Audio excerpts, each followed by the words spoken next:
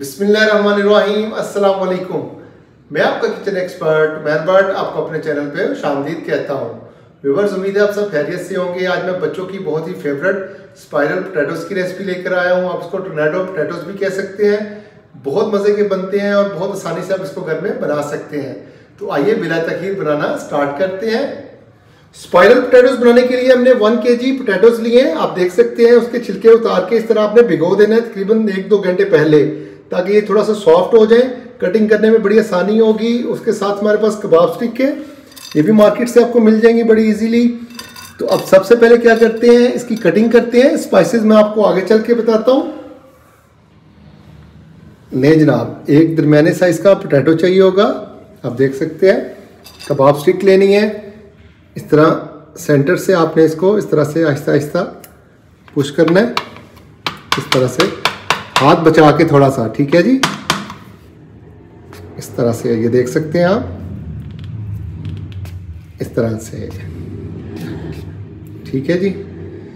अब इसकी कटिंग जो है, बड़ा थोड़ा सा डिफ़िकल्ट है, लेकिन मैं आपको जैसे बताऊँगा, बड़े आसानी से आप कर सकते हैं। इस तरह से कोई जो छुरी लेनी है आपने, बहुत तेज़दार लेनी है, इस तरह से देखिएगा। सबसे पहले इस तरह से कटिंग करेंगे। इस तरह से।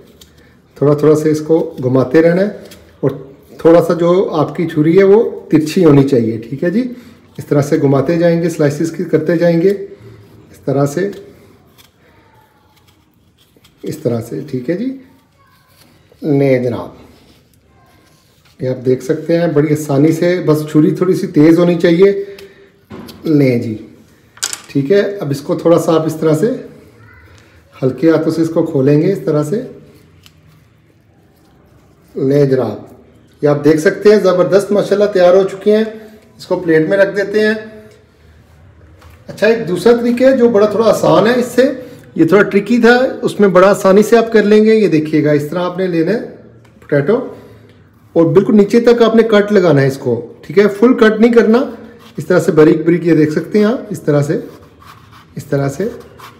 फुल कटिंग नहीं करनी, नहीं तो वो अलहदा हो जाएगा। बिल्कुल हल्के हाथों से आपने इस तरह से लास्ट तक लेके जाना है इस तरह। ये ये बड़ा आसान तरीका है, ये हर कोई कर सकता है।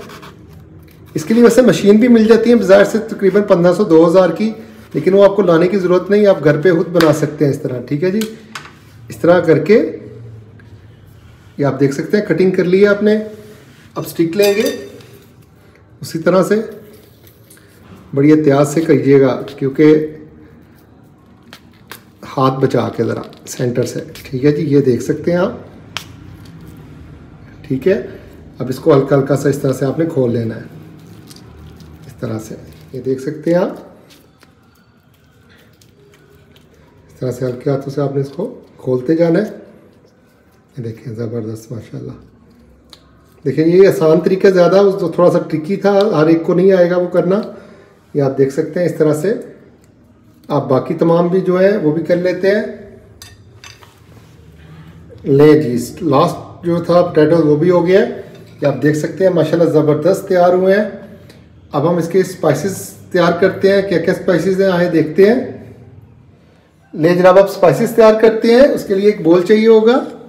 आप देख सकते हैं, इसमें सबसे पहले नमक है जो कि हमारे जो पोटैटोज हैं वन के जी है वन टीस्पून हमने नमक लिया वन टीस्पून सूखा धनिया वन टीस्पून कुटी हुई लाल मिर्च हाफ़ टी स्पून जीरा पाउडर हाफ़ टी स्पून हल्दी पाउडर और हाफ़ टी स्पून हमने चाट मसाला लिया ये तमाम स्पाइसेस एक साथ हम शामिल कर देते हैं। बोल के अंदर चार टेबल स्पून आपने मैदा लेना है और चार टेबल स्पून आपने कॉर्नफ्लोर लेना है। ठीक है जी, ये भी मिक्स कर देंगे इसमें। और थोड़ा सा पानी चाहिए होगा और अच्छी तरह से इसको मिक्स कर लेंगे। ज़्यादा पानी नहीं, थोड़ा सा बस तीन से चार टेबल स्पून और इस तरह मिक्स करते रहेंगे।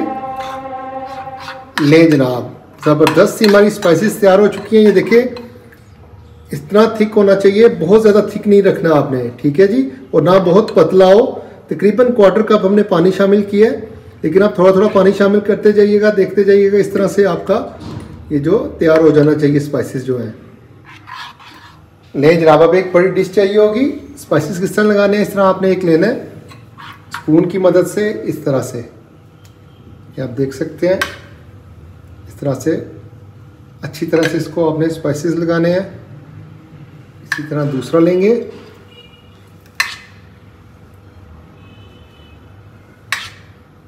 इसी तरह बाकी तमाम को भी हम मसाला लगा लेते हैं। ले जनाब स्पाइसेस लग चुकी हैं, अब हमें एक पैन चाहिए होगा जिसमें हम फ्राई करेंगे डीप फ्राई करेंगे इसको। कोई बड़ा बर्तन लीजिएगा जिसमें ये डिप हो जाए अच्छी तरह से। ले जनाब ऑयल भी गर्म हो चुका है। पैन के अंदर अब हम जो हमारे स्पाइरल पोटैटोज हैं, इस तरह से आपने डीप फ्राई करना है, इस तरह से बड़ी एहतियात से रखना है। इस तरह दूसरा भी। फ्लेम हाई रखेंगे फ्लेम लो नहीं होना चाहिए। इस तरह से दो से तीन मिनट के बाद आपने साइड भी ज़रूर चेंज करनी है इस तरह से। तो इसकी भी कर लेंगे। लेवेबल्स हमारे स्पाइरल पोटैटोज बिल्कुल रेडी हैं, आप देख सकते हैं। अच्छी तरह से सुनहरे ब्राउन हो चुके हैं और क्रिस्पी भी हो चुके हैं। माशाल्लाह ज़बरदस्त, देख सकते हैं आप। इसको इस तरह से डिश आउट करते हैं। ले जनाब स्पाइरल पोटैटोज बिल्कुल रेडी हैं और डिश आउट भी हो चुके हैं। लास्ट में अगर आप चाहें तो चाट मसाला भी लगा सकते हैं इस तरह से। बड़ा अच्छा टेस्ट हो जाता है इससे। कैचअप मायोनीज कुछ भी आप इस पर लगा सकते हैं। ठीक है जी, देखिए ज़बरदस्त माशाल्लाह आज की रेसिपी थी, बहुत आसान रेसिपी थी, ज़रूर ये ट्राई कीजिएगा। और जो मेरे चैनल पे नए हैं, वो ज़रूर मेरा चैनल सब्सक्राइब किया करें और बेल बटन भी प्रेस कर दिया करें, ताकि मेरी आने वाली वीडियोस जो है, उन तक पहुँच सके। जी व्यूवर्स उम्मीद करता हूँ मेरी आज की स्पाइरल पोटैटोज की रेसिपी आपको बहुत पसंद आई होगी। ज़रूर ट्राई कीजिएगा, बच्चों की बहुत फेवरेट है। तो मेरी अगर आज की वीडियो आपको पसंद आई है तो मेरे चैनल को सब्सक्राइब करें और इस वीडियो को लाइक करें। इस दुआ के साथ कि खुश रहें, आबाद रहें।